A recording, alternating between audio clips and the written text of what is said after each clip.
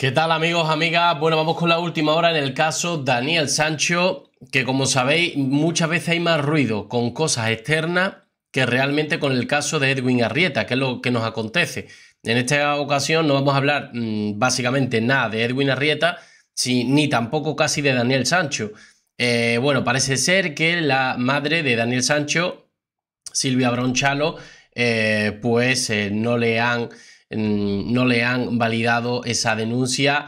Eh, vamos a ver exactamente qué dice Marco García Morte. Ha estado en el programa de Vamos a ver y ha comentado un poquito la última hora. De hecho, también amenaza, advierte Marco García Monte en demandar a alguien de la persona, eh, una persona del entorno de Silvia Bronchalo eh, por falso testimonio y demás. ¿no? Vamos a ver exactamente qué es lo que dice. Vamos a ir comentándolo si os parece. Y como ya os dije, mientras que haya eh, se acerque la fecha, seguramente van a estar en televisión y ahí nos haremos eco de las informaciones. Yo creo que esto le viene muy bien eh, a Marco García Monte que se haga ruido con otra cosa que no tenga nada que ver con darle voz a, la familia de Edwin Arrieta. No sé si os fijáis por dónde va el asunto.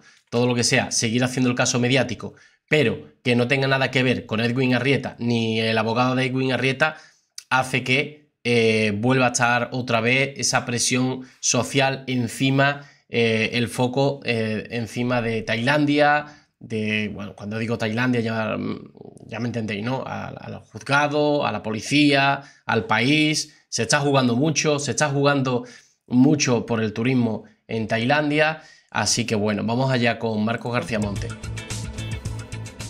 Imagino, Marcos, que era lo esperado, ¿no? Porque es que si no... lo, primero, lo primero, querido Joaquín, que tenemos habla de la denuncia de Silvia a eh, Rodolfo Sancho, que no ha llegado a nada, ¿no? Lo que decir es que Silvia intentó que Daniel hiciera un poder o un apoderamiento y Daniel se negó. Únicamente tenemos poder nosotros, judicial. Vale, esta es un poco la justificación de por qué realmente lo demandó, ¿no? Eh, porque le dio coraje de no darle ningún poder eh, su hijo a su madre. Y eso le, como que le dio coraje y por eso lo denunció, que realmente no hay nada en alusión a que eh, haya podido maltratar Rodolfo Sancho eh, por audio, por, por, video por videollamada, por llamada de teléfono, que haya podido de algún modo maltratarla, ¿no? Porque se estaba hablando de que la había insultado, que le había dicho que tú eres no sé qué, no sé cuánto, no, no sé si recordáis, ¿no? Y su padre para todo tipo de temas. A mí lo que más me sorprende es que el día 8 de febrero denuncie hechos que se han cometido en el mes de agosto. Una cosa sorprendente. Bueno, esto sí, esto sí que es verdad que es curioso, ¿no? Que denuncie algo que sucedió en agosto, lo denuncie en febrero. Pero también tengo que decir, porque claro, la, parte de Silvia Bronchalo no está hablando, siempre nos habla una parte, la otra no está hablando. Ya sabe que Silvia Bronchalo y sus abogados pues no, no hablan de estos temas, eh, lo llevan todo por lo privado. Mm, no sé si en agosto sucedieron esos audios o esa conversación en la cual no, no estuvo bien Rodolfo Sancho, según Silvia Bronchalo, yo no lo sé porque no estuve presente, y digamos en una segunda, tercera o cuarta conversación fue cuando rebosó el vaso, cuando Silvia dijo, mira, la última vez que me gritas te demando.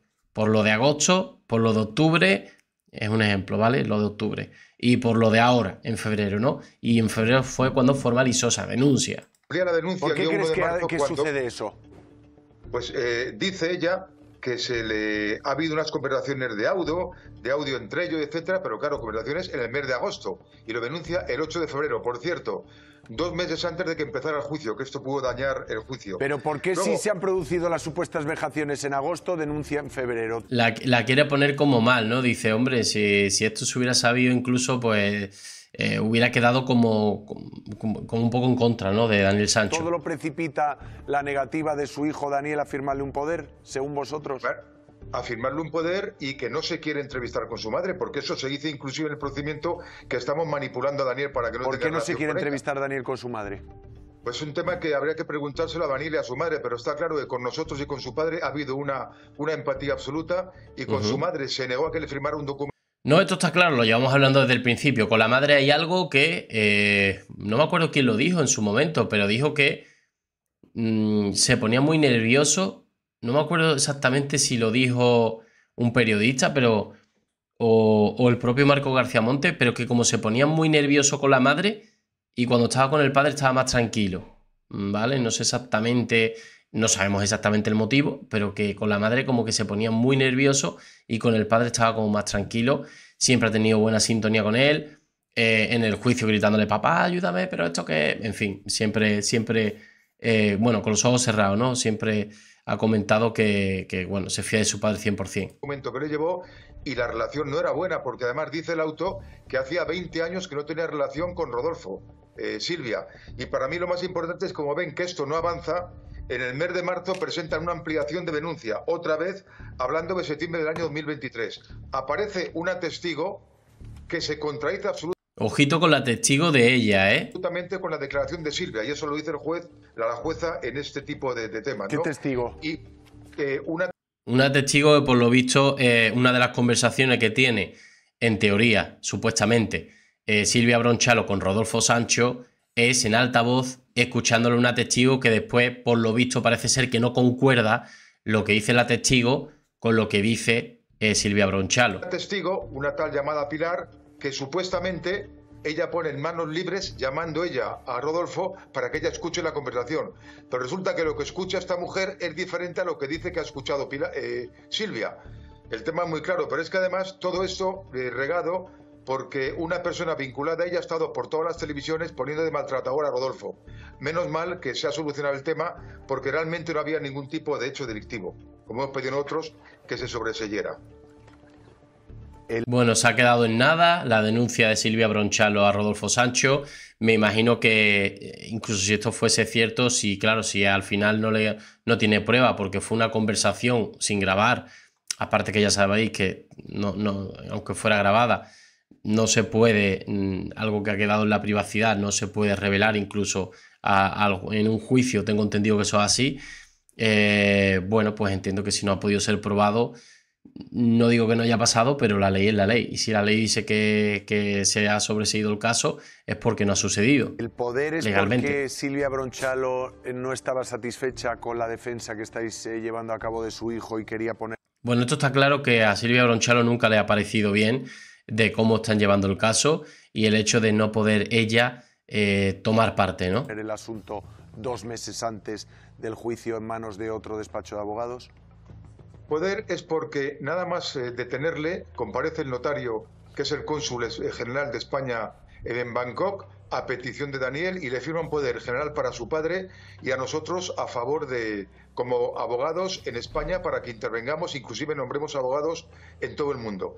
A partir de aquí, ella intenta que su hijo le dé un documento para a favor de un abogado, él se niega, dice que únicamente nos quiere a nosotros y intenta ella de nuevo forzar el tema, Daniel le dice que no y aquí nos encontramos y resulta que el 8 de febrero es cuando interpone la denuncia. Por hechos, cinco meses anteriormente, supuestamente. Bueno, insiste en que le ha resultado extraño que denuncie cinco meses después. acontecidos.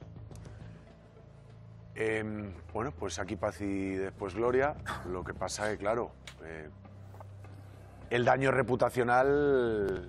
Aquí es donde va el tema de la, de la eh, presunta denuncia que le interpondría Rodolfo Sancho a alguien del entorno de Silvia. Atentos, atentas. No, no sé si Rodolfo va o está sí, por supuesto.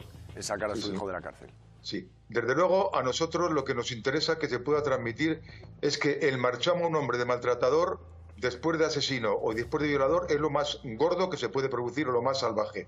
Y eso sí, la persona que ha estado por todas las televisiones llamando maltratador a Rodolfo tiene que responder ante la justicia y, por supuesto, puede tratarse hasta de una denuncia falsa. Y eso no lo vamos a perdonar y vamos a perseguir de forma judicial. ¿Quién es esta persona? Me he perdido. ¿Es la abogada? Pues una persona muy vinculada a ella. Dice que la persona que ha estado en televisión eh, comentando esto, me imagino que es la, abogada, claro. Gracias, eh, Marcos. Un saludo. Muchas gracias. Que tengan buen día a todos. Bueno, pues nada, la cosa se pone calentita previo al juicio, bueno, previo a la sentencia el día 29 de agosto. Y bueno, vamos a ver en qué acaba todo esto. Yo creo que esto le viene muy bien a Marco García Monte para que se vuelva a mover, a agilizar un poquito, ¿no? Se vuelva a calentar un poco eh, de que, ojo, estamos aquí, ¿eh? Mm, como diciéndole a Tailandia, ojo, que seguimos aquí, ¿eh? Que estamos atentos, ¿eh? Que en España siguen atentos a, este juicio. Sí, por otras cosas, no por Edwin Arrieta sino por otras cosas, ¿no? Por lío entre los padres de Daniel Sancho, pero aquí seguimos, ¿no? Creo que esto le, viene bien. Así que nada, mi gente, eh, no sé, eh, dejadme vuestros comentarios, nos vemos en el siguiente vídeo con más información. Un saludo.